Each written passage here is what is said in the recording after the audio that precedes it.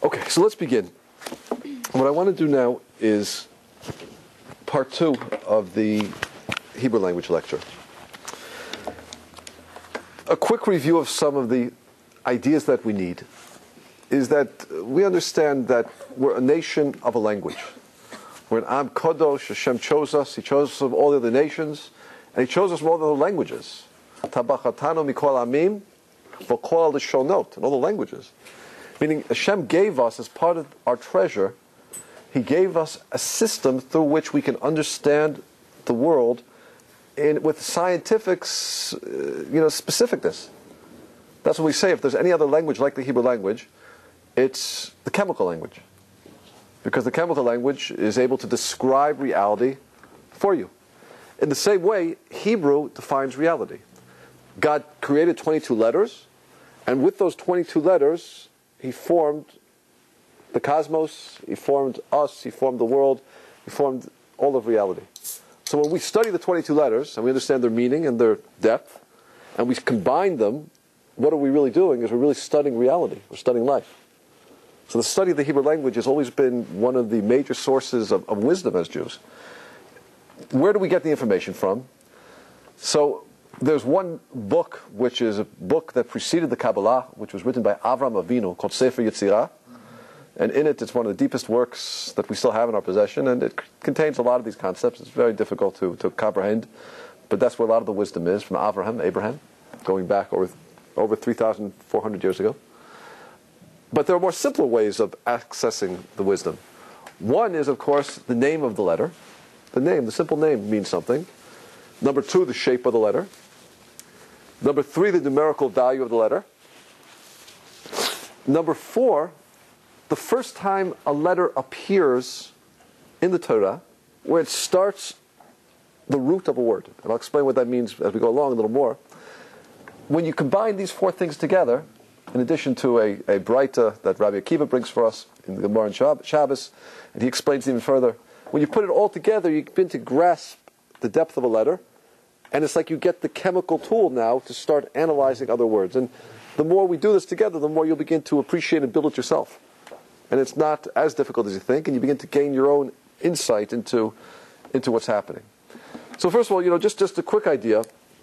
You know, we mentioned that the closest language to Hebrew is the chemical language. You know, so let me just give you an example what that means. Even just, you know, for example, if I would write H2O, of course we know that means the two hydrogen molecules and one oxygen molecule. Now, it's interesting. If I were to write the word mayim, which means water, H2O is water, the word in Hebrew is this word right here. Mayim. Which is just very interesting because I find that fascinating because if you note mayim, it has two mems and one yud. As if to indicate to us that what? There's two of something and one of the other. Just as we know the chemical language tells us there's 200 molecules of one oxygen molecule. Pretty fascinating. You know, and if you look at the word in Hebrew, for example, for snow, snow. Snow in the Hebrew is shelig.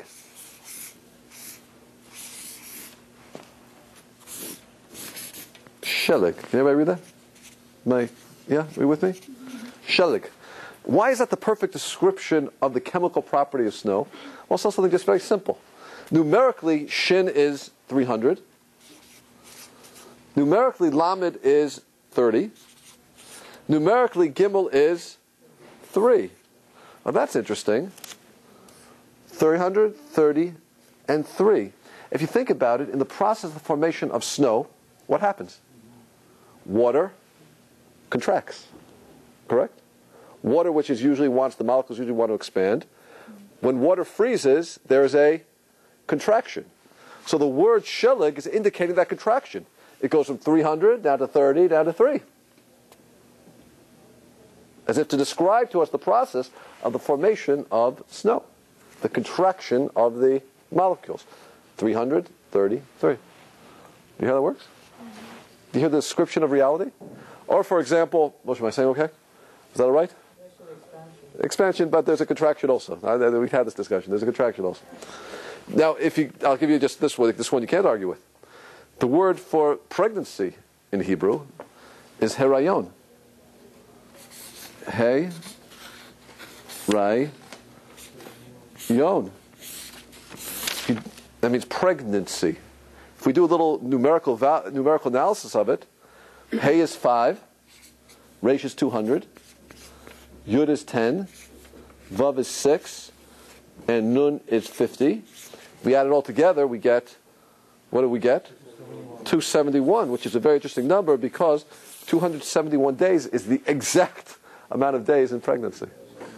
Right? Nine months is 30, and the day itself of delivery is 271. Yeah, you with me? So you hear the specificity of the Hebrew language in describing reality. It's, it's, it's remarkable. It's, it's remarkable. It just, it, it's, but let's take it. Let's go a little bit deeper now. But you know, we could go uh, many angles to it. There are many approaches to it, and I'm going to give you a, you know, a smattering, and hopefully at the end we'll see some system in it. Let's just review something very important. We begin with the Aleph and a little bit of review, but I'll, we have our Aleph over here, as we've seen. Aleph. So Aleph, whenever we see an Aleph in any word, we've discussed this many times, Aleph always represents the connection of something spiritual to the physical.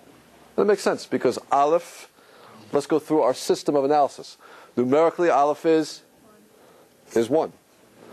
First time we see Aleph in the Torah is Bereshit bara Elo Kim, right? Which means God.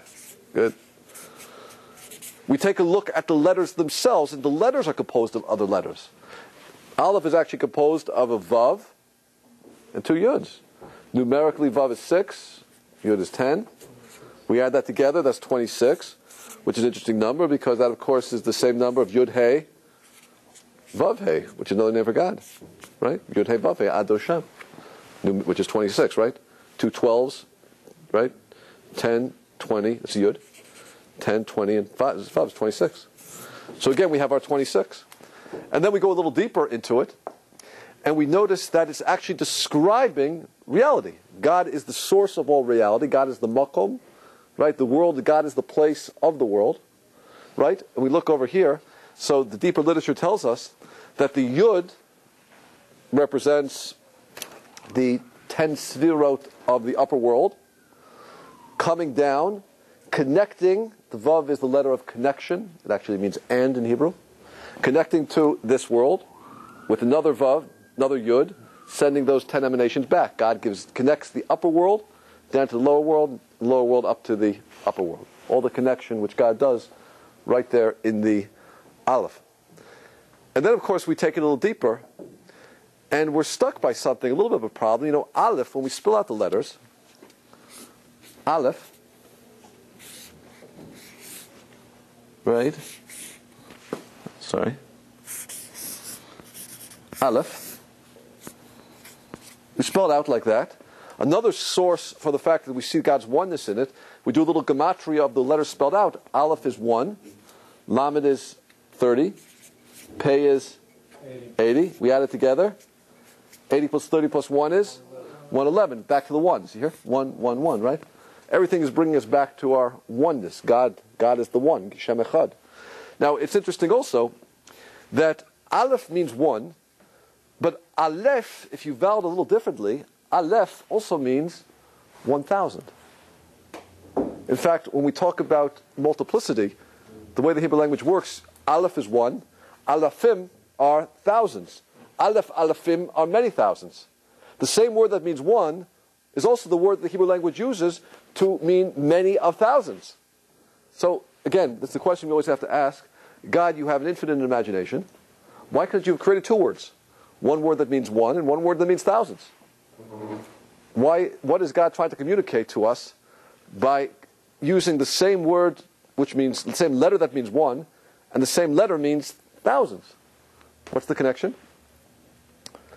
Well, the connection is, is that Hashem wants us to look at the thousands of powers in this world. There's the power of the sun, there's the power of the wind, there's the power of gravity, there's the power of rain, right? There's, there's the power of fertilization. There's many powers that are acting in this world. But don't look at them as isolated events. See how they're all unified by one unifying source God.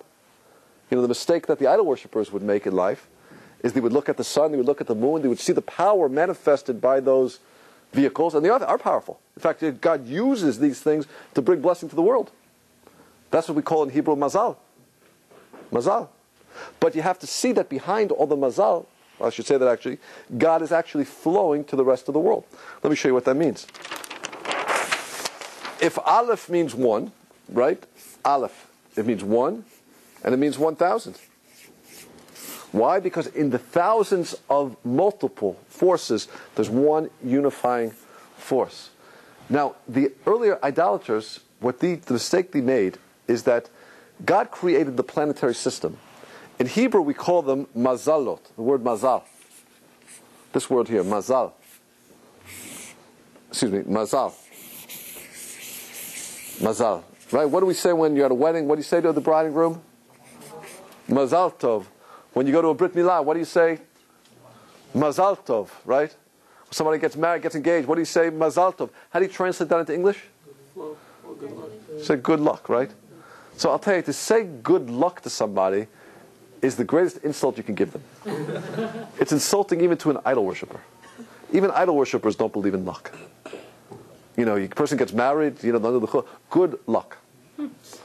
You have a one in two chance of making it for the next 40 years.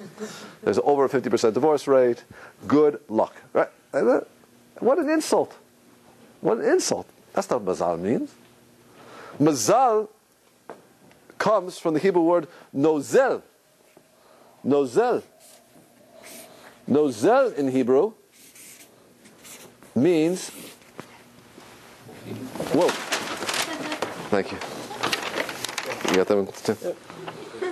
Good catch. So you can come on a ski trip. You're coordinated, I see. That was a test. Okay. Am I good here? Good. Oh.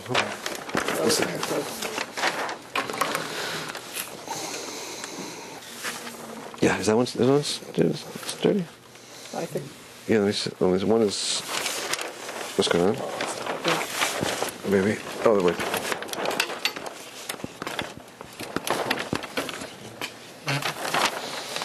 I can put down low. Yeah, okay. we're good. Okay, technical support, guys. Okay. That's good. Is that good? No. Next time. Oh, good. Okay, good.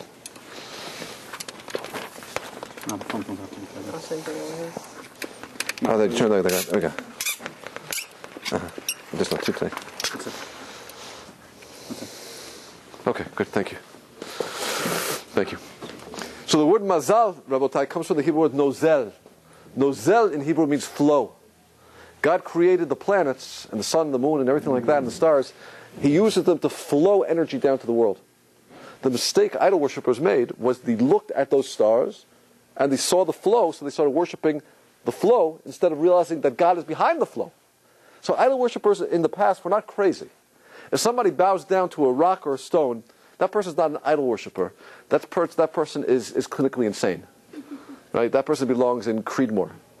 When the early idol worshippers worshipped idols, they were not insane.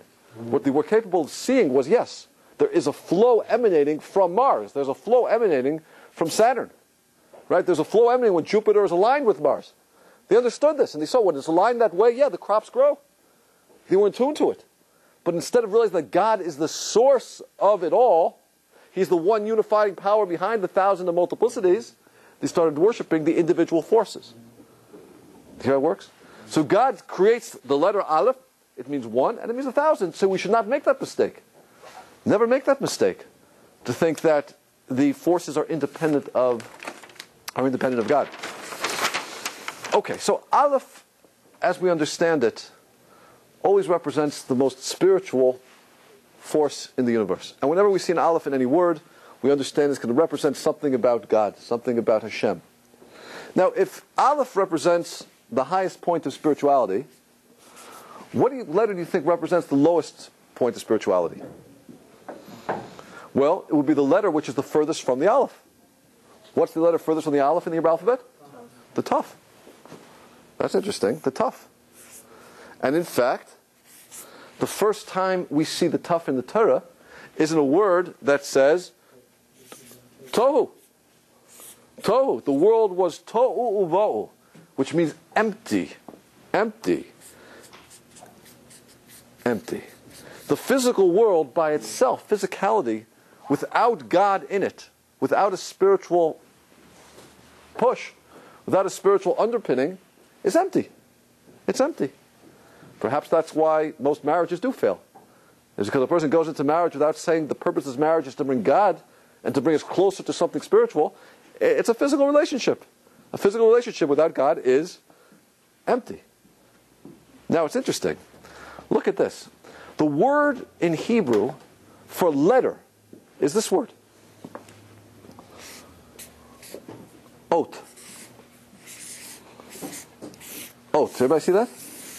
An oat in Hebrew is a letter. If I want to say the letter Aleph, Ot Aleph, Ot Bet. Interesting. Look how perfectly that those three letters describe what the Hebrew letter is.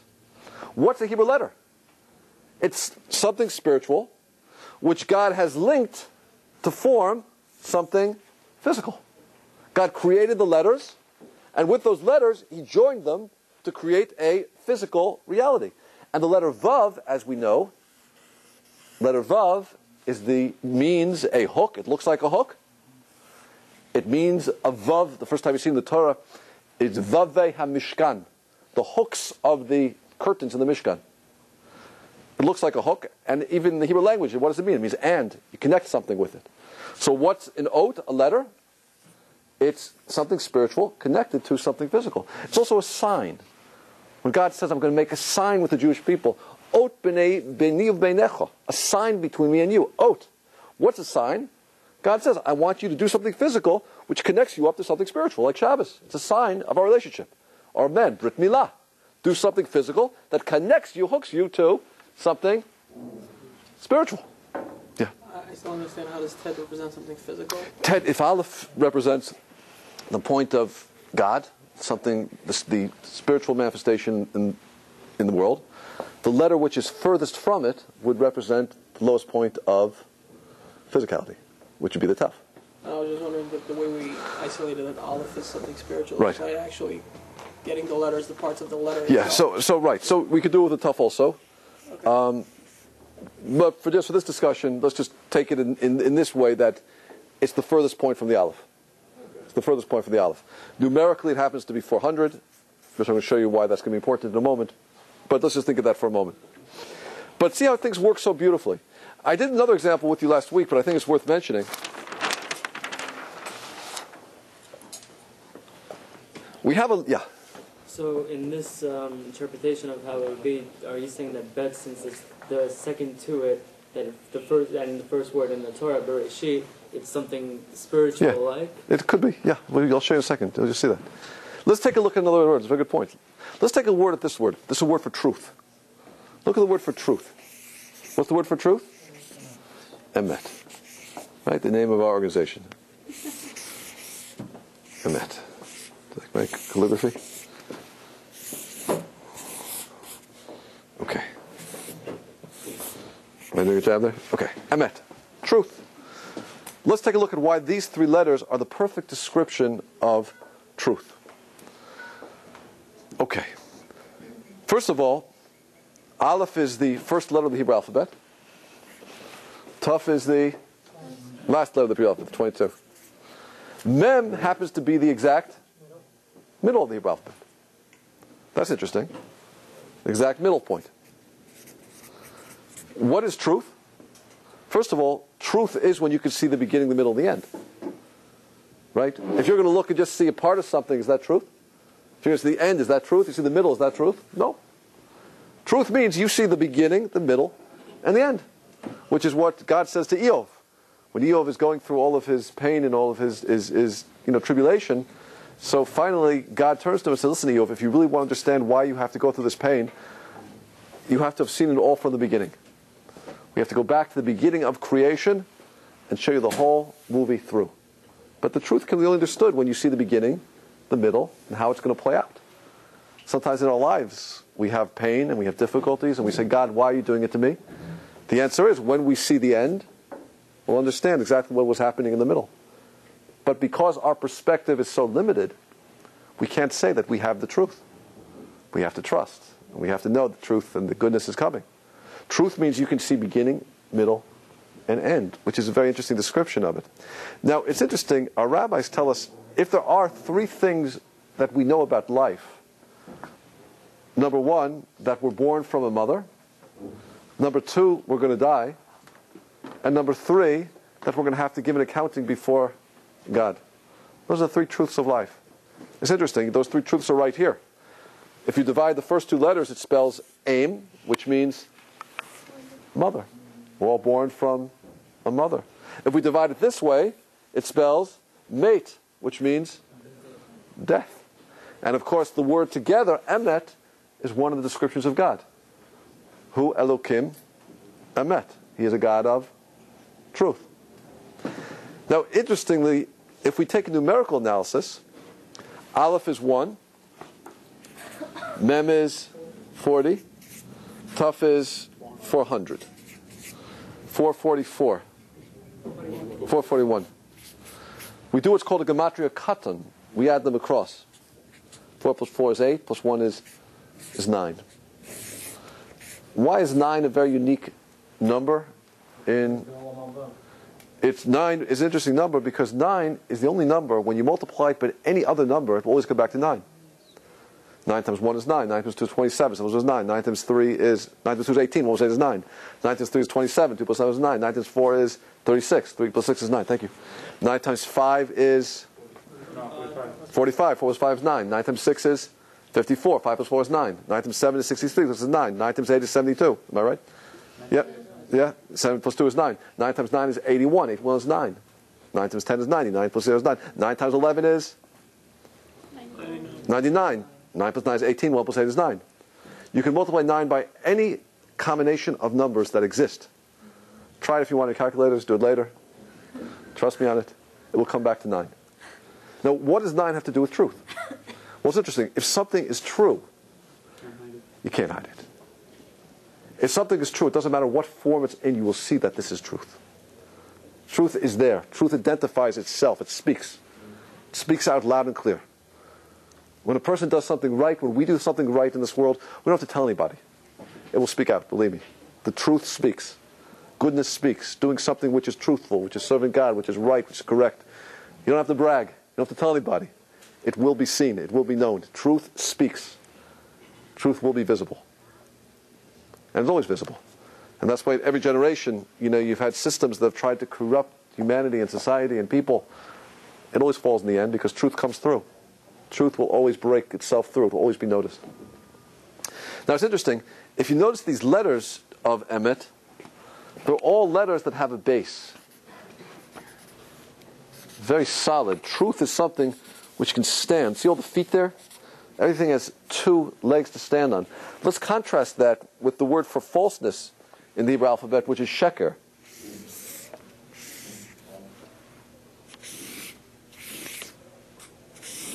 Sheker. What's interesting about the word for sheker, which is falseness, is notice there's only one leg. You see that? Something is false, it's baseless. It's also interesting, by the way, whereas emet, truth, is first, middle, and last, the word for falseness happens to be three letters in the Hebrew alphabet, which are right next to each other. Kuf, Resh, Shin in the Hebrew alphabet are right next to each other, but in the wrong order. Here it's Shin, Kuf, Resh. Really, it should be Kuf, Resh, Shin. So sheker is something where you're only seeing one part of the picture. That's falseness. You're seeing a little teeny piece. It's like you look through a, a, a, a, um, a keyhole and you think you know the whole story. No. You're seeing one isolated event. You look through a keyhole, right, and you see a man with a mask, and you see him, he's holding a knife, and he's ready to stab. What are you about to do? You call 911, you call the police, the police kick down the door, and what do they see? It's a dentist. It's the dentist. You know, you hear a scream, and you hear the drill, and you hear the yell, and he has a knife, he's, uh, you know, he's helping him. But you thought he was killing him because you're looking through a keyhole. That's falseness. When you see one part of the story, that's sheker. Truth means you have to see the entire vision. You have to see what's going on. Now, it's interesting. The truth of life is when you can take God and you can transport God all the way into everything you do in the physical world. Aleph is God, represents the highest point of spirituality. Tuf represents the lowest point of spirituality, the physical world. Mem is my favorite letter, not just because my name is Mordechai and my wife's name is Monica. Mem is my favorite letter because Mem happens to be numerically 40, and it means mayim. It means water. What is water? What's the property of water? Water always wants to be in motion. It always wants to move. Right? Water doesn't like to, in fact, you know, you spill a cup of water, it doesn't, the, the molecules don't like to come together and join together. They want to expand out. Rivers want to flow. Right? Water wants to move. It's always in motion. Definition of water, it's in, something moving in motion. Now it's interesting. 40 mem happens to be the middle point of the Hebrew language. The mem is the middle point. Now look at mem. Mem numerically is 40. Now what's interesting about that is, in Judaism, is 40 an important number for us? Well, let's think for a second. How many years in the desert? 40, right? The midbar. The midbar was 40 years. Let's think. How many days at Har Sinai, the mountain of Sinai, when we receive the Torah? 40. Matan Torah. Right? Matan Torah. The giving of the Torah. 40. Let's keep going. How many days of rain were there when God destroyed the world? In the Mabul, there how many days of rain? 40. Mabul. That's interesting. 40. If you have a mikvah, in order for a mikvah to be kosher, you know a mikvah is a it's a gathering of water that has to be rain water, it has to be gathered in a cistern that's into the ground, and it has to be purely rainwater. Of 40, it has to be 40 se'ah. 40 se'ah is approximately the weight of a human being. 40 se'ah for it to be kosher. So a mikvah, which again is the mem, has to be 40 se'ah, it's called. Now it's interesting also, we know from the Gemara Brachot that after a certain number of days, you should stop davening for a boy because the sex has already been determined. How many days does it take till the sex has been determined? It's actually a medical fact as well. 40 days. 40 days. The point of gestation, where there's, you go from cellular life to actual human life, is 40 days. We call it me imo. Me, me imo, the womb of the mother, stomach of the mother. 40 days of gestation. Now it's interesting. Why all these 40s? 40, 40, 40, 40. The, the midbar with desert was 40. 40 days in Matan Torah was 40. 40 days of the flood. 40 days of, uh, 40 se'ah in mikvah. 40 days of gestation in, in the womb to go from cellular life to, to human life. And notice that they all begin with a mem. Very interesting. All begin with a mem, and they're all 40. So what is happening? What's special about all? What's the common denominator of all of these events? Common is transformation. In order to go from a slave nation to a free nation, we need 40 years.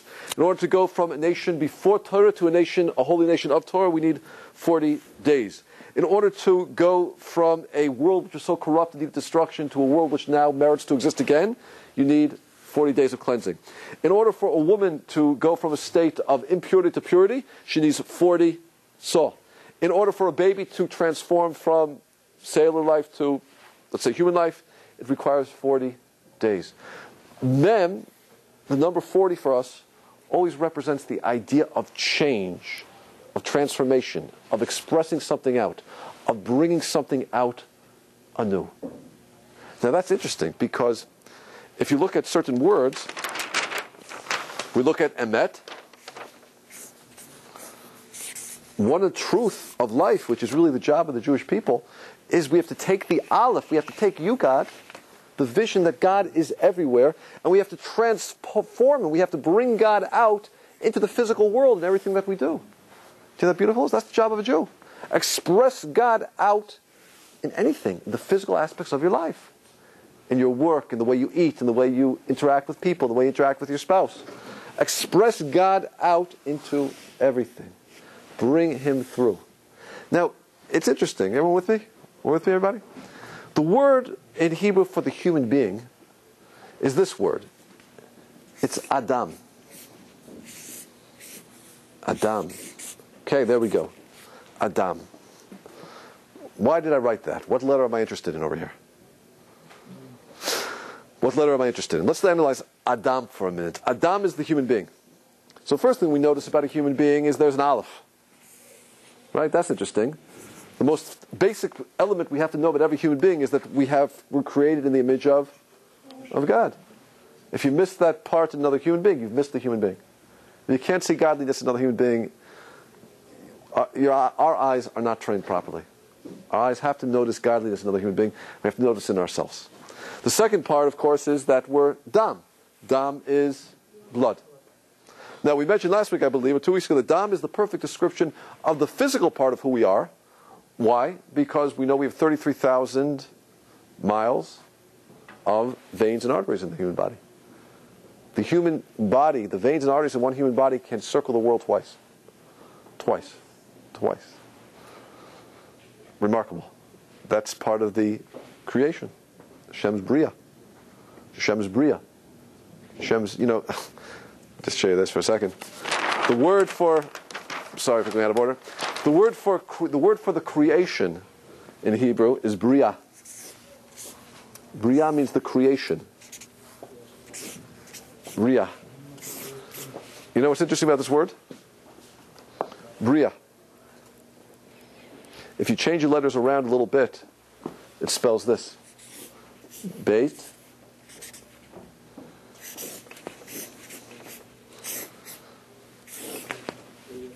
Yira. Yira. Bria means the creation. The physical creation is the Bria. Right? If you change the same letters around, it's Yira, which means for the sake of awe.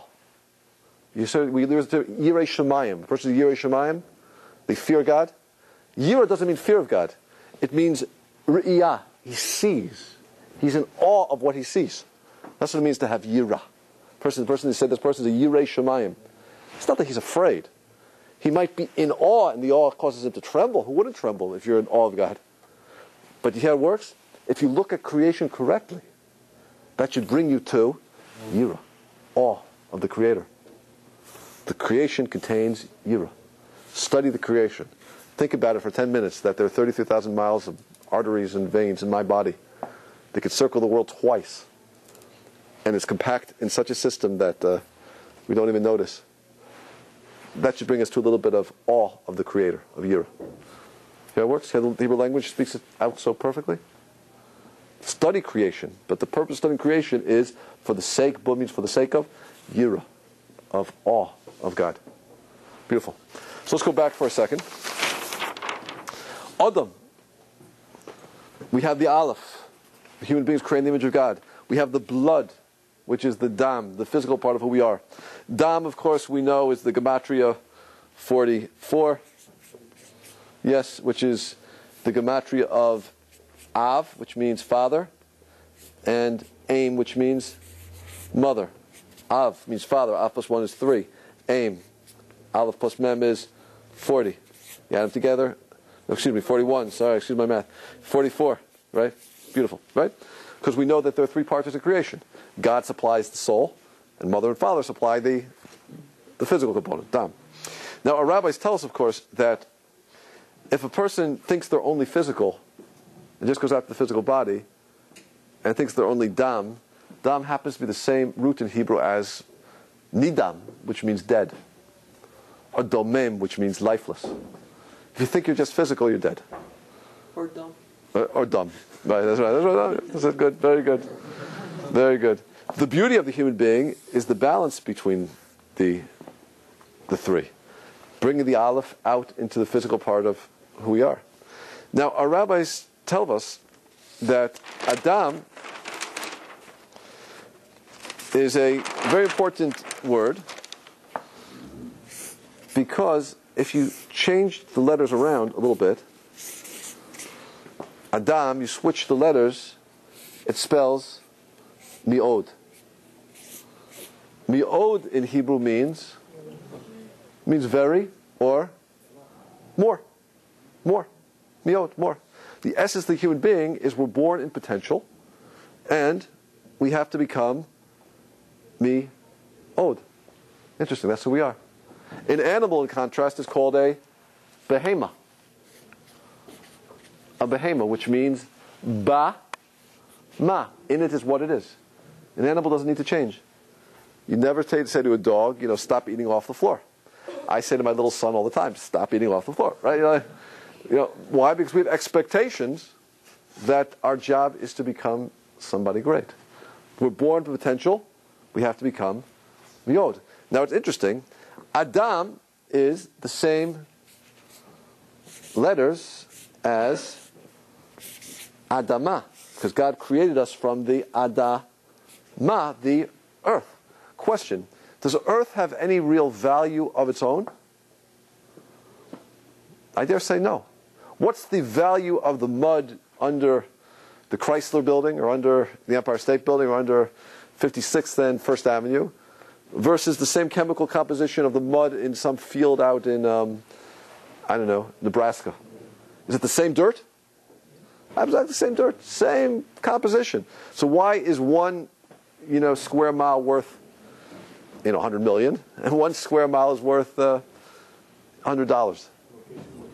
Location, location. I think real estate people. Here. Location, location, location. Meaning the potential of what you can do with it determines its value. True. Dirt, Adama, is the perfect description of something which has potential. God created man from the Adama. Why? Because the essence of the human being is we're created with potential, but it's our job to actualize our potential. Now look at the word Adama. Adama, if you vowel it a little differently, it spells this word. Adameh. Adameh. Hebrew speakers. Adameh. What does Adameh mean? Adamah means dirt. Adameh means, you have to know a little bit of Hebrew for it, but I'll tell you. It means, I will be domeh. I will be comparable. I shall compare myself. Adamah means dirt. Adameh means in Hebrew, I will compare myself. Who will I compare myself to? I will be dome to the Aleph. Dome in Hebrew means similar. I will be similar to Hashem. That's the potential of a human being. A person can be dirt, but in the same word that means dirt is the exact same letters, almost in the same order, that means I shall compare myself to God. I will be Adameh. I will be comparable. Dome, comparable to the Aleph, to God. That's the potential of the human being. What are you going to be? Are you going to be dirt? Are you going to be godlike? That's our free choice. That's the power of free choice in the human being. And there it is in the word. Adama, Adameh. Same word. Ground, and I shall compare myself. Or be comparable to God. Doma to the Aleph. Do you hear, the, the, do you hear this language? Interesting language. Now, let's take a look at the Adam for a moment. It's interesting that Aleph is written like this. The letter Aleph, of course, we means the highest point of spirituality. How do we pronounce an Aleph, by the way? Listen to my, listen to my Aleph. You hear it? Heard my Aleph? Anybody hear it? You heard it? No sound. It's silent, right? Because something spiritual doesn't have a sound. The highest point of spirituality it has no physicality. The Aleph has no physicality. It's the highest point of spirituality. All the other letters have sounds. B, good, right? Now, interesting. What's the mission of the human being? A person is born Adam. He's born with an Aleph and he's born with blood. Physicality, spirituality. The mission of the human being is to become mi'od. Meaning, what does it mean to become mi'od? It means transfer that Aleph that you have, that godliness you have, into everything you do out in the physical world. Look at the word ma'od. What did I tell you the letter mem meant? Mem is the letter of mayim, right? 40. Transformation. Transfer out that aleph into the Dalit. The Dalit in the Hebrew language always represents the physical world. Why? Well, let's see. First of all, the way it's shaped.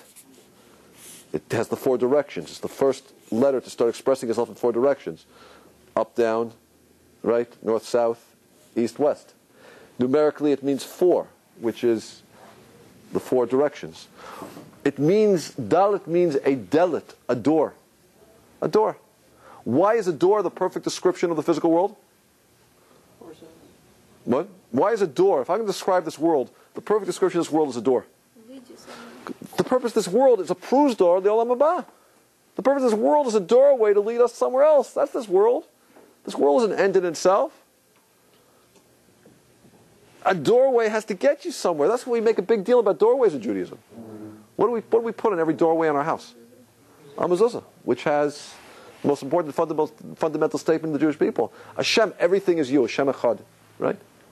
Why? Because doorways illustrate to us what this world is. So the world, the word letter that means the physical world happens to be the dalit, which means delit, which means door. So uh, the job of the human being is you're born Adam. You're in potential. Your aleph is over here. Your job, however, is to become Yod. Transport that aleph out into the physical world, into everything that you do. Bring the spiritual side of who you are into your life, everywhere. That's what it means to become Yod. We hear everybody? Good? Let's take a look at men and women for a moment.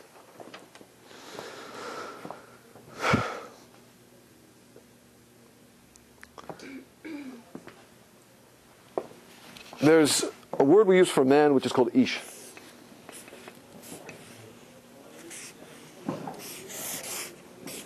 It's a word we use for women called isha.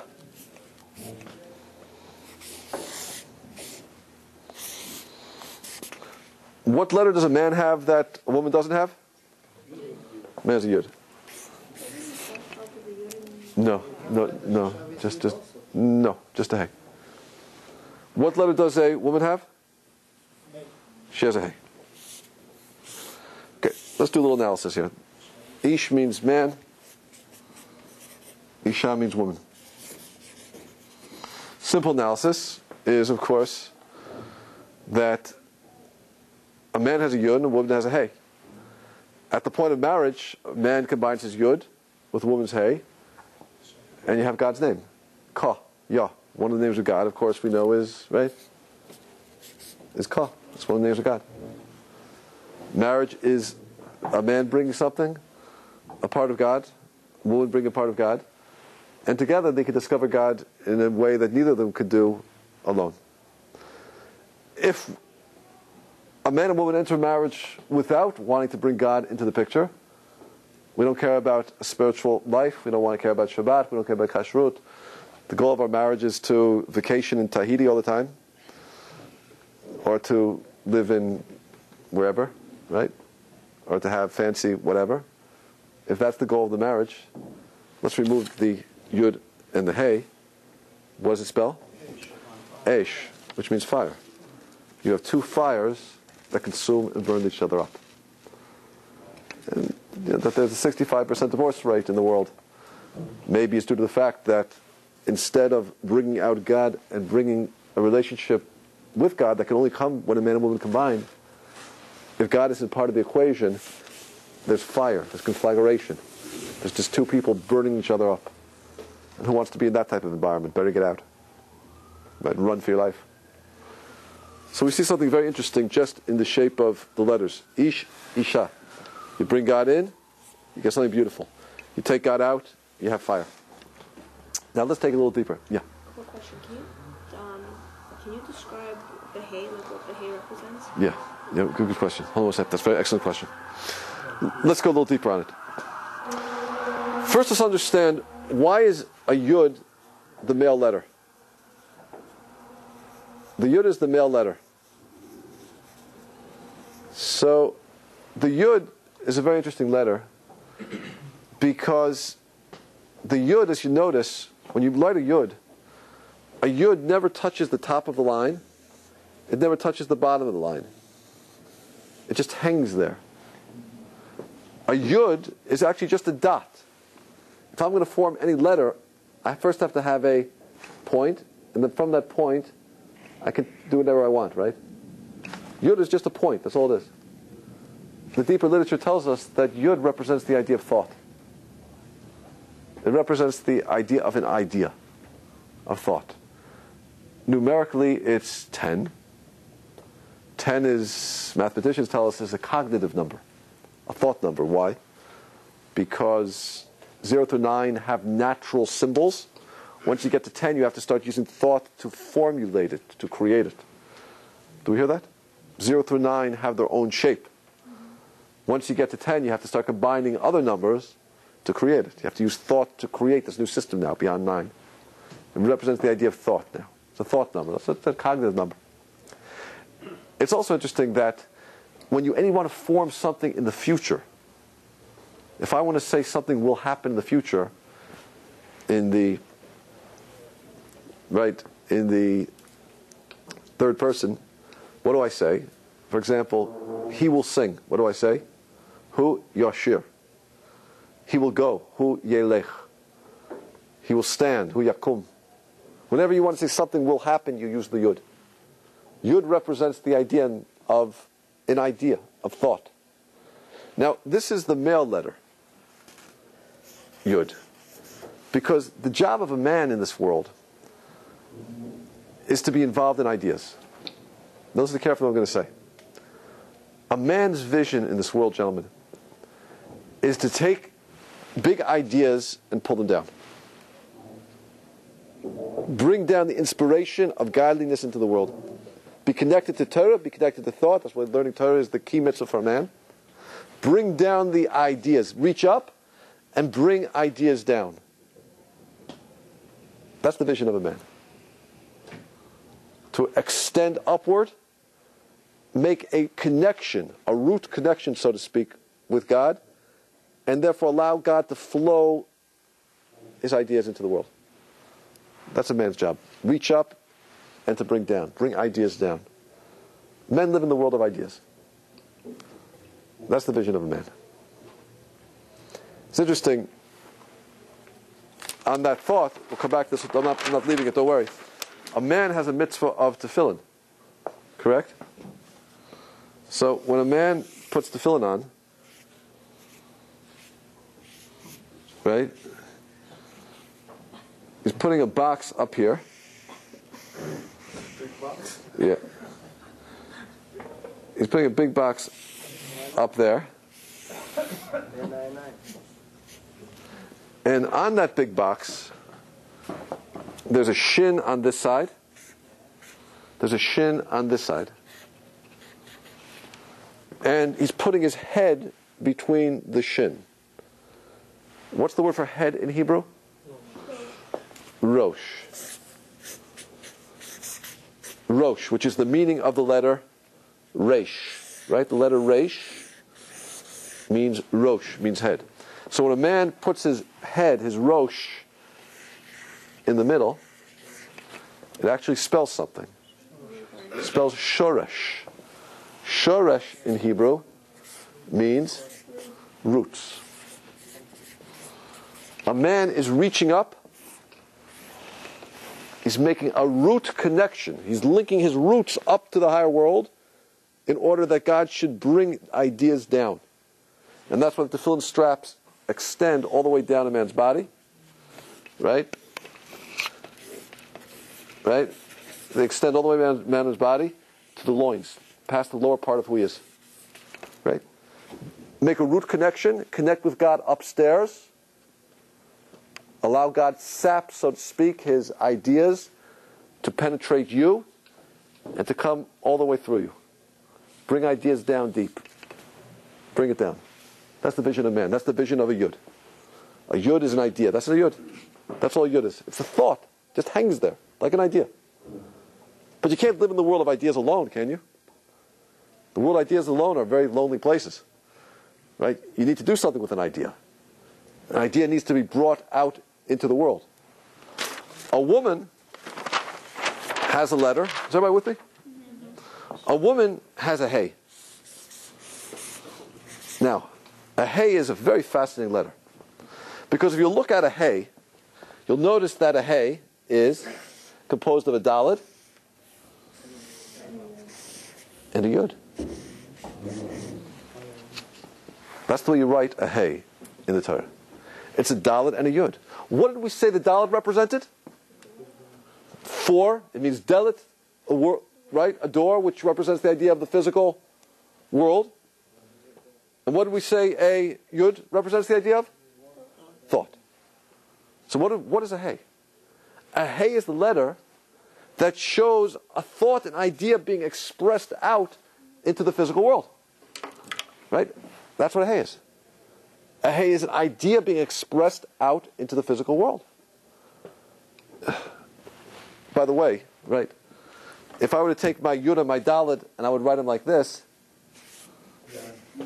spells hand. Why is the yud and the dalid the perfect description of a hand? What does a hand do? The job of a hand is to take your ideas and express them out into the world. The hand is the interface of my ideas and the physical reality. True? That's what a hand does. A hand expresses my ideas out into the world. That's a hand. Purpose of a hand. It's also interesting, by the way, numerically, a yud is 10, daled is 4, which is 14. Why is 14 the perfect description of a hand? 14 joints. Right. 14 points of connection, 14 joints. 1, 2, 3, 4, 5, 6, 7, 8, 9, 10, 11, 12, 13, 14. Right? 14 points in which I make my connection out into the world. Right. So if a man's job is to be a yud, to bring an idea down, a woman's job is to to take that idea and make it real in the world. Right? Perfect example, of course, is, is reproduction. A man provides the seed, the genetic composition which gets it going, the idea, so to speak. A woman then takes that idea and nurtures it and nourishes it and forms it and shapes it, and after nine months expresses that idea out of the world the form of a child. Do you know how it works? A man is the idea. I'll say it anyway. If you look under a microscope, you'll notice that, right, a man's seed looks like a yud. And if you look under a microscope, you'll notice that a woman's egg happens to be the shape of a hay. So, right. The physical reality is describing the spiritual system. The spiritual system, the spiritual world is the system. The spiritual, the physical world, of course, intersect, they meet. So a man's vision is to be involved in the world of ideas. A woman's vision is to take those ideas and express them out. So whereby a man might learn the intricacy of the laws of Shabbos and might be involved in the theoretical aspect of Shabbos, a woman's vision will be to take a home and transform that idea in a way that, yeah, there's an environment here that, that lives it. You live it. Right? That's the beauty of marriage. A man could be in big ideas, and a woman could take his big ideas and, like, and make it real. Which is more important? Right? Ideas are life. Right? You need both. You need both. They're both super important. But that's the vision of male and female. Idea versus expressing that idea out into the world. Now it's interesting. God created the world, it says, with the letter Hey. Torah says, the Hey Baram, which means he created them, but our rabbis explain that word to mean Hey Baram. With a Hey, God created the world. Why did God choose to create the world with the letter Hey? Why? Because what's the description of the physical world? The description of the physical world is you have a physical reality that contains a spiritual idea within it. There's a spiritual idea within the physical shape of the world, anything in the world. So the hay is the perfect description of the creation of this world. Now, we looked last week at a word for love. And let's take it a little deeper this week. And we said that the word for love is ahov. Right? Ahov. Love. So why is this the perfect description of love? Right? Simply, we said, well, numerically Aleph is one, numerically Beit is two, and we said, of course, every letter not only has numerical value, it has a meaning. We said that the letter Hey means give. Right? Letter Hey means give. We see it the first time the Hey begins, the root of a word, is in Parshas Vayigash, when the brothers are down in, in, in Egypt. So Yosef wants to give them food. So Yosef says, Hey lachem ochel, which means give them food. Hey lachem, give. So it's consistent. But if you look at the letter Hey, why does this letter mean give? What does it mean give? Well, first of all, what? What is a gift? First of all, right. First of all, when you give, the point of giving, of course, is your hand. Right? That's true. And, and, and what, what is a gift, really? A gift is giving something from me to you. It's a giving of a gift. What's the point of a gift? A gift isn't the physical object, is it? The beauty of a gift is what is behind that gift. Right? When something comes for you, the idea behind it. What did you have in mind? Your intention. When you give something from you, your thought, your, your, your spirit, right? It's coming from your heart. When that gets out into the physical world, it gets out to somebody else. That's what giving is all about. You're giving something, the deepest part of you, your idea of your love. You're expressing something out to the other. One gives to two. One gives to the other. And of course, we mentioned that what's the way of really building love? When you give to the other in Aleph, you give something spiritual to somebody else. You create a much deeper feeling of love. Why? Because love is going to be a function of, you know, if you can give something of greater value, the love will be greater. The greatest thing of value we give to somebody is we give that person an aleph. What is what's an aleph? Either we give them a home in which we bring God down deep. We show that person that there's an aleph inside themselves. We make them aware of their greatness, of their talents, of something we have that's special. We give them an aleph. We give them a Devar Torah. We give them a way to connect up to God deeper. That, of course, generates and builds the love in a much, much deeper fashion. Good. Let's go into the word world of prayer for a moment.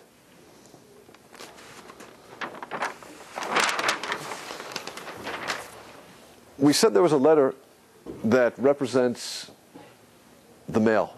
In addition to the yud, there's another male letter. That letter is a Zayin. Zayin. Now, a Zayin in Hebrew, it looks like a sword. It means a sword. It also means zan, which means to nourish. What's the idea of a sword? A sword is something you use with for conflict, right? You use to, to fight. So the job of a man in this world basically is either he has to fight to defend, or he has to fight to bring food to the table. It's not always an easy job. Zan. We mentioned that there was a letter for a woman, which was a gimel, another letter, the gimel. Gimel is the Hebrew letter. That's not a good. Is that a good gimel? Yeah. Okay. Decent. Yeah. yeah. Okay. Gimel. If we write the gimel out, gimel actually means gimel means to give. Gomel chasadim. It also happens the same word as gimal, which means to wean a child off milk. Question. Why did God choose the same word, which means to give, gomel, and gimel, which means to stop giving? Gimel means to give, and gimel means to stop giving, to wean a child off milk, stop milk. Why is the same word in the Holy Tongue? God has an infinite imagination. Why did he choose two different words? So what's the inner core? What's the interconnection between the two? What's the greatest kindness you can do for somebody? When you get it. When you can stop giving. When you can create independence. That's the greatest kindness. The greatest giving is to give to a point where the person is full, they don't need you anymore. You can wean them off of you. That's independence. Right? If I'm going to be helping my, let's say, five year old ride her bicycle, like a two wheeler. So I'm going to be running after her, trying to hold her up, you know, running down the street. And I'm doing kindness. Now, if I'm going to do that for my 17 year old, am I doing kindness? No. I'm big, an overprotective nut, right? And, and that's ridiculous. Real giving is you want to give to a point where you create independence. Now, it's interesting. That's why the first time we see the gimel in the Torah, it's because it's this word which means gadol. Gadol means big. The whole purpose of giving is to create somebody to be a gadol. Big. They don't need you anymore. In fact, if you break the letters down of gadol, it means you give to a dal. You give to somebody who's poor until you become a gadol. Now it's interesting, by the way, the letter gimel also means gamal. Gamal means a camel. What's the connection between a camel and giving and not giving? What's the connection between a camel? What does a camel have to do with the whole picture? What's unique about a camel? It can contain water and basically go about 30 days, I think, without drinking. It has the capacity to be self-sufficient. What's the greatest kindness you can do for somebody? To create self-sufficiency, independence. See the consistency? Consistency? So Gimel represents the female letter. Hey, I don't like that. Let's start again.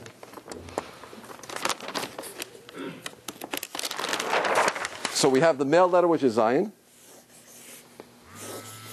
We have the female letter, which is the the Gimel. Now, we mentioned that the letter of connection in Hebrew is a Vav. Right? Because a Vav, first of all, it looks like a hook. It means a hook. Vav is the letter of connection. Vav a Mishkan. How do we say a married couple in Hebrew? We say a, right, a zug. Zug. The male is connected, hooked up with the, the female. That's a married couple, right? The male energy hooked it with the female. Now, I know I showed you that last week, but the reason I showed it to you again is because I want to discuss the Zayin. The Zayin, again, we mentioned, looks like a sword. Right? It means a sword. It's interesting. The letter Chet in Hebrew, the next letter, is this letter right here.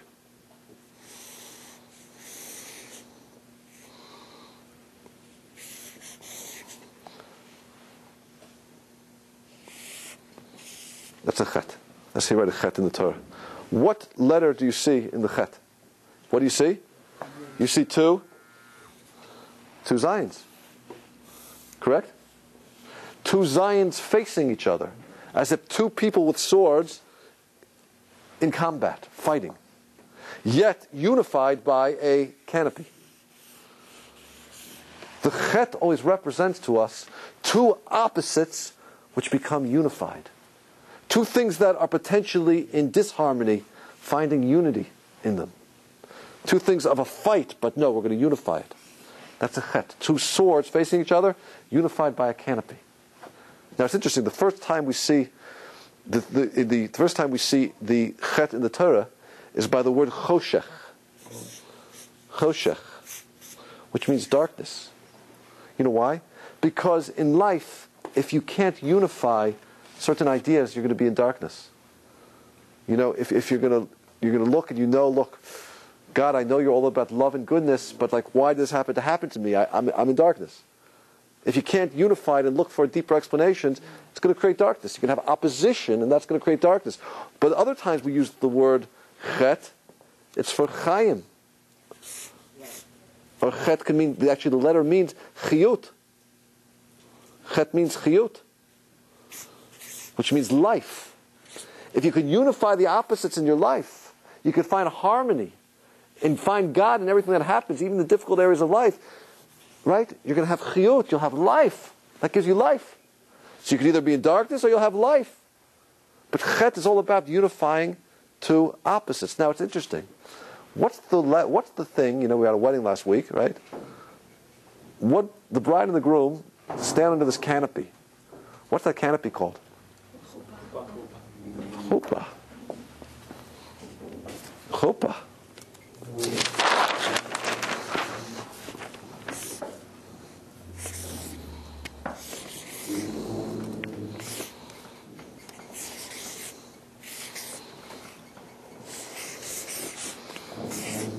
Chuppah. Chuppah means the wedding canopy. If you break those letters down, you know what it really means? Chet po. What does po mean? Here. The chet is here. Oh, you have a husband, you have a man, you have a woman, you have two beings which potentially can be in opposition to each other. Women have their strengths, men have their strength, women have their disadvantages, men have their disadvantages, right? Men have their weaknesses, women have their weaknesses. Men, there's a lot of differences. Men are from Mars, women are from Venus, right? We have a lot of differences. Two things that potentially can be in disharmony. What does the chuppah do? It unites it, unifies it. Don't worry. Chet po. The unity is over here. Chet po. Yeah, that's what chuppah is. Bringing two people that could potentially be adversaries, bring them together in a union and in a life where each of our strengths will complement the other and help bring the other to a place we couldn't have gotten alone. The chet is here. Chet is po. The unity between two opposites is present. That's what a chuppah is. Got that, Esther? Chet po, that's your chuppah. Chet po. Chuppah. Yeah. Doesn't chet also mean sin? Chet can also mean sin. Like when you say like chet, Right. Chet can mean chiyut, it can mean life, it can mean chet. It's a different, little different spelling. But you're right, it can be the aspect of sin. Sin is when you can't unify these two opposites in life. Right? You have your own drives, and your own passions, your own wants and needs, and there's God's word, and I don't want to put it together. There's a fight, there's a conflict. That's chet. That's why by the word, you know, the word for chet is actually this word over here. If I would write out the word for chet, which means sin, chet, it's, it's like this. Chet. Right? Chet. Chet. Which letter is silent? Oh, that's interesting. What's the source of all sin? When you choose to silence God. You don't want to listen to God. You know, when we're very aware of God, we don't sin. When we're aware of people, we don't sin. Right? Is that true? You know, all of a sudden, you know, you're doing something wrong, somebody walks in the room. Oh, oh. We sin because we choose not to see that God is watching us. That's a sin, is we silence God. God is present, but we choose not to focus on it. Free choice means that we can focus. And we can see or we could choose not to see. That's chet. That's sin. Silence the God. Silence the owl. It's as simple as that. Yeah. Just a question. Uh, not to ask, like, what's worse, knowing that you're doing something wrong and doing it, or choosing not to see that you're doing something wrong? You know, like, Choosing not to see. so if you know that you're doing something wrong, God is watching, but you're still going along with it, it's better than. Uh, Yeah, look, know I'm doing something wrong, and if you know you're doing something wrong, you're this is on the path towards tshuva. I know I'm doing something wrong. I got to try to stop. The person chooses to that. It's okay. When one rationalizes what I'm doing wrong is really right, then the person's in danger. But of course, our rabbis tell us that you do something three times, you rationalize that. Like we say, you do something once, it says, you know, oh, oh my gosh, I couldn't believe I did that. Two times, ooh, I feel a little bad. Three times, what I did was a mitzvah. It says shlosh hutrobo. That's what it says. Hutrobo. You made it a mitzvah. It's permitted to you. Okay? No, let's get more condition. You made it a mitzvah. what if you don't regret it? You don't regret it. Yeah. Third time you don't regret it anymore. Third time it's a mitzvah. but if you It's a mitzvah. a hundred times, it's. Oh, it's a mitzvah. You know what? It's a mitzvah. You know, first time you feel bad. Second time, you know, first time you regret it. Second time you feel a little bad. Third time, I'll, I'll tell you exactly why I just did was a mitzvah. It's amazing. It's amazing. You know why? Because, and the reason is, the reason is very, very deep. The reason is because the human being is so holy. The essence of who we are is the soul. And when we do something that, that is wrong, then we silence the aleph, so to speak. We, we cause a blemish on the soul. There's such pain that we're experiencing inside ourselves. The only way to deal with that pain is to rationalize what we did is really right. Because we can't live with ourselves to feel that I've done something that's rebelled against God. The soul can't tolerate that. We can't tolerate that really. The only way to, to live with ourselves is to say, I didn't do anything wrong. I did a mitzvah. I did a mitzvah. What I did was right. I had to scream at him. You know, how would he learn if I didn't scream? Right? It's the only way to teach. It's not for me, it's for him. You know, right? They got to that, right? You can rationalize anything away, you know? Think about your mind, anything. You know, immorality, whatever it is, you know, it helps the marriage. Oh. People can rationalize anything away because they can't live with themselves in the feeling that they've, they've, they've rebelled against God. That's the power of rationalization. That's why we have to be very careful. And the core of spiritual growth is really being in touch with our rationalizations. And believe me, we have power to rationalize anything. anything. Three times it's a mitzvah. That's what keep in mind. Keep that in mind in everything that we do in life. Okay, let me take you through one more point over here. I want to take you through the most important thing that we say every day as Jews. Twice a day we have a mitzvah to say Shema. Right, just before I do that, right, let me show you the power of free choice for a second. The power of free choice. What's the word for choice in Hebrew? Right. To choose is bachar. That's interesting. In these three letters contain everything we know to do about free choice. Bachar. I could write these letters as chaver, which means a friend. If I make the correct free choice decisions, I could be a friend with God. Or we could write the same three letters as cherev, which means a sword. If I make incorrect free choice decisions, I am a in conflict with God. Like in battle with God, in opposition with God. Right? Free choice, bachar, you can either choose to be a chaver, or you could choose to be a a cherev, like a sword, in opposition to God. There's, that's the power of free choice. Okay, let's take a look at Shema Yisrael for a second. Twice a day we say these words, Shema Yisrael. Shema Yisrael Hashem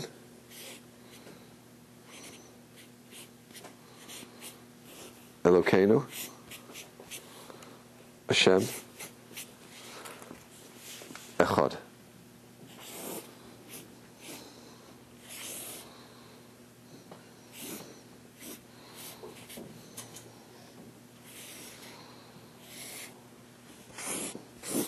Okay. Shema Yisrael Hashem Elokeinu Hashem Echad. Let's analyze this statement for one moment. First of all, Shema. Shema in Hebrew means listen. Listen, Israel, Hashem Elokeinu Hashem Echad. What are we really saying?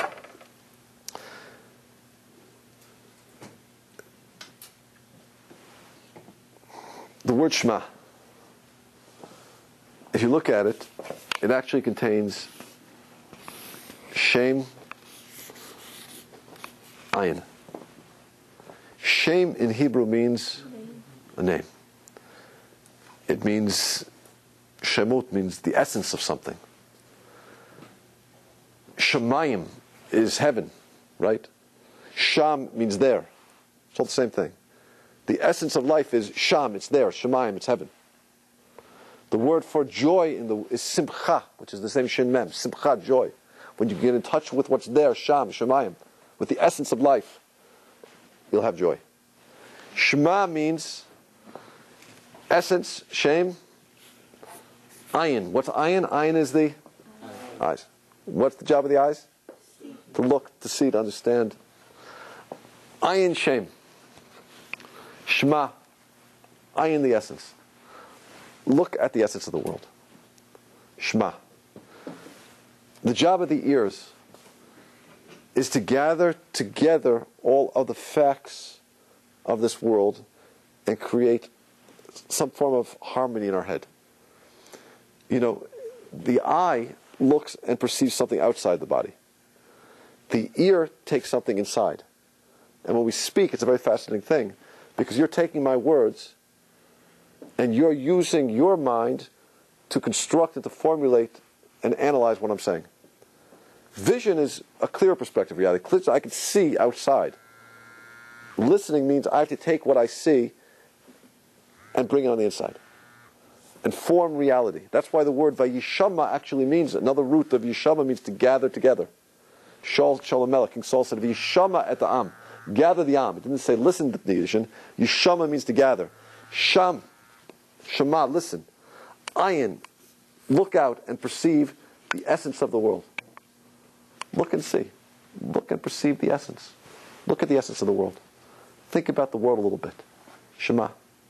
Shema, listen. Listen, not just listen. Perceive essence. Look at the world and discover what's going on in the world. Discover the essence of the world. Go to the zoo. Right? Go to the zoo. Go look at a giraffe. And ask yourself a simple question.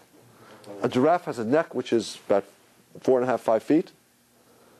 And the giraffe has a job that has to pump blood uphill. Uphill. Now, things like to go downhill. It's called gravity, right? How does that giraffe pump blood five feet uphill against gravity? Difficult job. So it so happens that the giraffe happens to have, guess what? A second pump. Where's that second pump? Right at the base of its neck.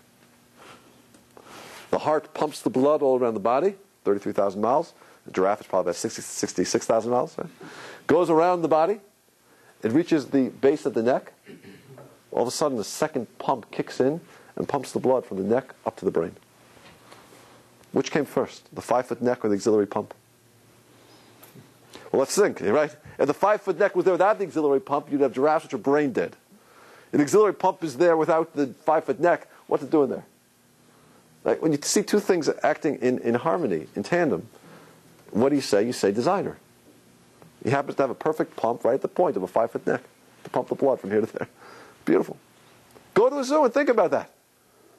Think. You don't to be, God created the world in a way where if we'll look and think about the essence, we'll come and we will discover God in the world. And we'll have balance in life. That's what listening is. Listening is gathering all that information so that we should have the proper balance of how we're supposed to live our lives. Which is interesting, by the way. I'm going to come back just for a second. What's the word for ear in Hebrew? The word for ear is ozen. Now it's interesting. Ozen means ear. It also means, in Hebrew, izain means what?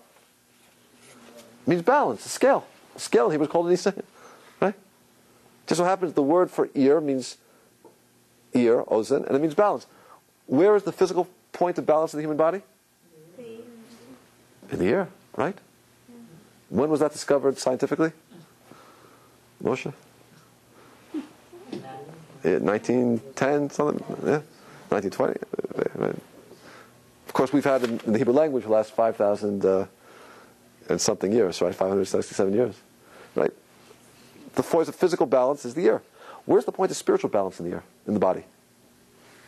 Well, let's see. When you need spiritual balance, what do you do? Come to a Torah class. Come to a lecture. Right? The ear is the point of spiritual balance, which is very interesting, by the way, because Aleph means what?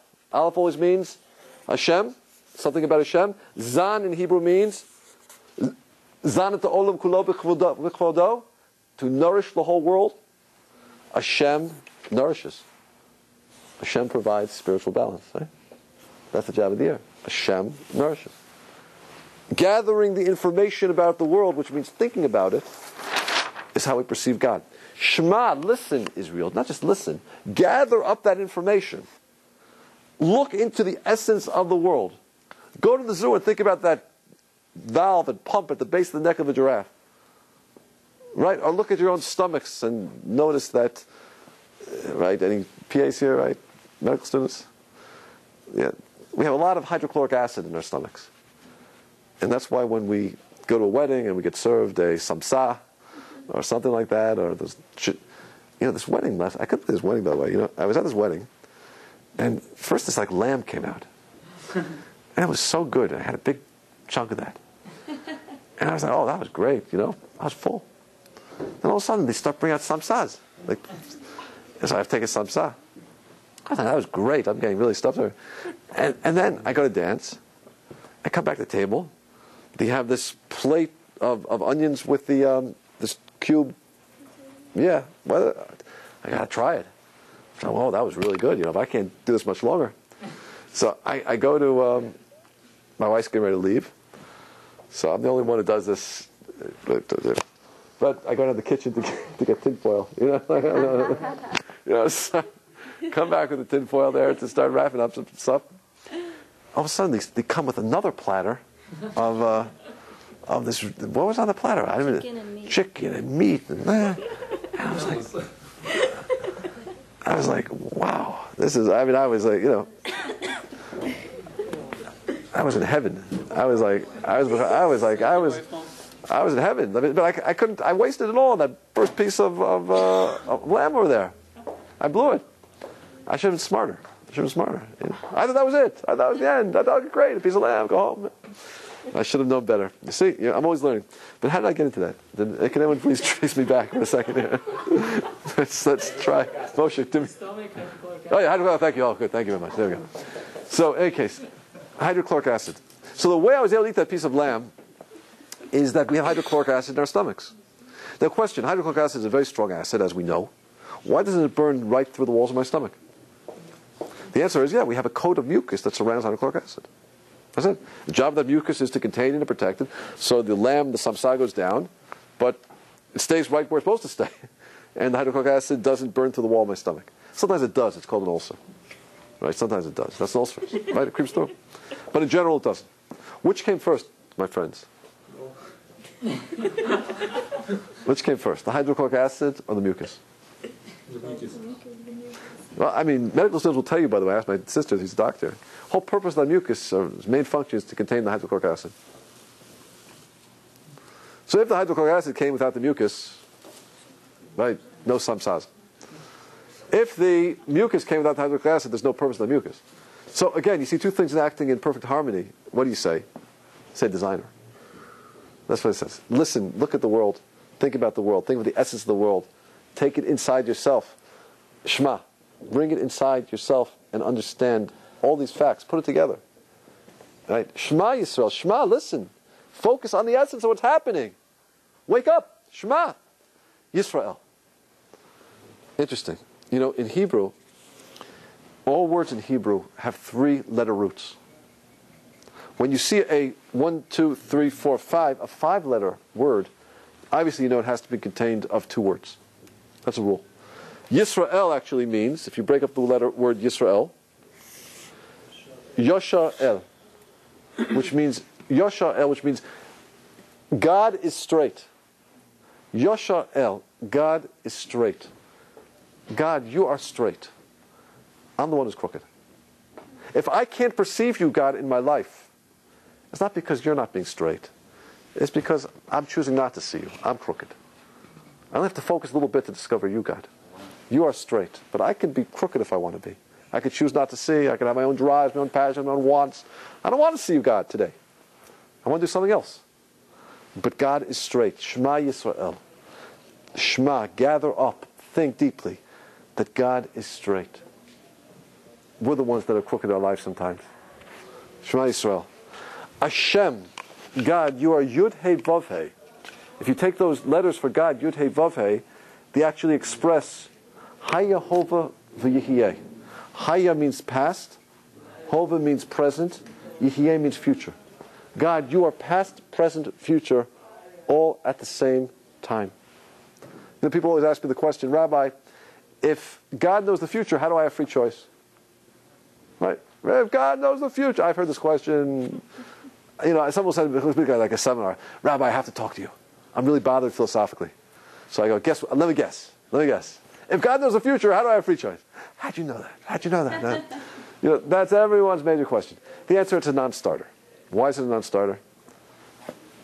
God is past, present, future at the same time. Yud He Vav He. Haya Hova V'Yeh. In the spiritual realm, there's no past, present, future. It merges into one. Time is a function of a physical reality. Time is something which is only relevant when you have a physical domain. Once you're out of the physical and the spiritual, you can have past, present, and future being the exact same thing. Can your minds comprehend that? No. I can't either. My piece of mush up here can't comprehend that. But that's God. God, the name of God indicates that He's past, present, future, all at the same time. So if God knows the future, there's no future. Just from our vantage point, there's a future. So don't get stuck by the question. It's not a question. You have to accept that The spiritual world doesn't operate this way. God doesn't operate the way we operate, and we just have to go with that. Shema Yisrael, Hashem Elokeinu, Hashem Echad. Now let me show you this word Echad. Echad means what? It means one. When we say this, we put our eyes over our hands over our eyes. Look at the word Echad. Echad, what do we say the Aleph represents? Spiritual, good. What did we say the Dalet represents? Physical world, beautiful. What did we say the Chet represented? That was a hay. The Chet was two swords battling each other. It was the battle of two opposites. That's how you read a Chet. When we're saying Hashem Echad, you know what we're saying? God, you are one. Meaning, I can discover you in every aspect of the physical world. There's nothing in the physical reality, or in any reality, which is not you. Hashem Echad. But oneness means, in order to perceive oneness, it means you got to get that aleph all the way out of the dalet. But to get there, you have to pass through a chet. And a chet, as we know, is two opposites fighting. It's two fight. There's a fight. There's a fight. Because to perceive God in the world, in any aspect of the world, there's going to be a fight inside yourself. There's going to be a fight. There has to be a fight. God, if you're all about love and kindness, why do you bring that sickness? God, if you're all about mercy, why do you bring the Holocaust? Right? God, if you're all about. Like, there are going to be questions in our lives. That's a chod. But if you're going to see God's oneness, oneness means is you have to bring that aleph all the way out to Dalet, but you have to first pass through the chet. Echad. Oneness. And that's a fight. To see God's oneness in the world is a fight. There's going to be a battle inside your minds. God, I know you're all about love, but why is this happening to me? Isn't that interesting? That's what we're saying. Gather up all the information. Know that God is straight. He's past, present, and future, and there are no questions. And He's one. All of reality is Him. Take that aleph. Oneness means see that aleph out of the physical world. But to bring it out into the physical world, you're going to have to pass through that fight of the chet. There's going to be a battle in your mind. God, I don't understand it all. Now, guess what? When we say Shema Yisrael, by the way, what do we do? We cover our eyes. We cover our eyes. Why do we cover our eyes? Because God, to say that you're one is something that I can't always perceive. And therefore, I cover my eyes to indicate I'm really in the darkness. And if I'm in the darkness, I'm going to have to use my heart to trust where my mind can't go. God, I don't see it. But I can't see everything in this world about you. I don't understand everything about you, God. I'm going to have to use my heart to trust what my mind can't see. In Hebrew, we call that emunah. What letter, by the way, represents trust? Oh, excuse me, what color represents trust? What color? White. Levan. Levan represents trust. If you'll notice, by the way, the root of the word white is lev, which is heart. And nun, when it's written like this, happens to be the longest letter in the Hebrew alphabet. It extends really far. Levan. White represents trust. Why? Because what's trust? Trust is taking your heart as deep as it can go. Where my mind can no longer go. Right? Reason, where reason ends, faith begins, the Brisker says. Where my mind can't perceive, I'm going to have to let my heart trust. God, I don't understand. I'm just going to have to trust. But you know, in any relationship, it's really what we don't know about the other, which is the point of the real strength of the relationship. If you love somebody for what you know about that person, that's not loving the other, that's loving yourself. I'm loving my mind's definition of you. When you really love someone, you love what you don't know. I know enough about you to know that even what I don't know is something worth loving. That's real love. That's trust. White for us always symbolizes the idea of, of, of trust. When my mind can't go, my heart has to go. It's interesting, by the way, white, you know, there's seven colors in a, in a the spectrum, right? Red, orange, yellow, blue, green, indigo, and violet. However, when they all merge together, they're all white, right? White light, if you were to refract it, really contains seven other colors. So it's interesting. White light contains something beneath it, but you can't see it. White always indicates there's something more that my eye can't penetrate, which is the idea of trust. I can't perceive it, but it's there. What's the color that represents for us belief in God through using the mind and the intellect? Blue. Chachol.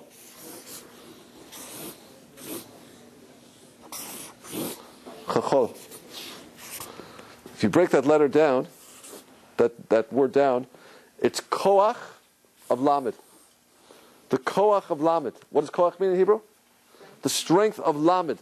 The letter lamed in Hebrew means lamed means limed, study. The strength of study. Blue always represents the idea of using the mind and studying God's ways, using the intellect to go as far as you can go. And in fact, the color that the eye can see before the eye can no longer detect colors is what color? Happens to be blue. That's when when you look at anything from a distance, what color do things appear? When you look at the ocean from a distance, what color is it? Blue. When you get close up, hey, this isn't blue. Right? You look at the sky from distance, what color is it? Blue. When you go up in an airplane, you go, hey, this isn't blue. What's going on? Seeing out towards something, the eye can perceive only up to blue. Blue always indicates the koach of lamed. Lamed limed, the koach of study. Now it's interesting. We have a mitzvah in the Torah to have to wear tzitzit. Tzitzit are composed of eight strings, right? You have a four-cornered garment, and on the corner you have to put eight strings. There's four strings rolled all over. And then there's a mitzvah from the Torah to take one blue string and to thread it around.